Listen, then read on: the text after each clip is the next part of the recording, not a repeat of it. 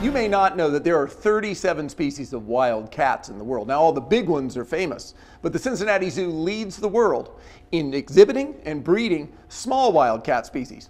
One of the smallest and one of the cutest is the sand cat.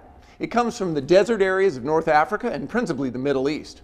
And the Cincinnati Zoo is not just breeding them here, you can see these babies, but our scientists from our Crew Center are also working over in the wild to help protect this endangered species. Now, the sand cat, as its name implies, is built for a life in the desert, not just its coloration for hiding. It has fur on the bottom of its feet to walk on the hot desert sand. It hunts principally at night and hides during the day in the shade of a burrow. And I know they look cute, especially when they're these little kittens. But I'll tell you what, these are tough hunters. A small rodent like a mouse does not want to get anywhere near a sand cat. Now, sand cats are endangered in the wild, but you can see them every day of the year here at the Cincinnati Zoo. So the next time you're down, stop in our cat house, take a few minutes, use some patience, and you can see these cute kittens. Here in the cat house at the Cincinnati Zoo, I'm Thane Maynard.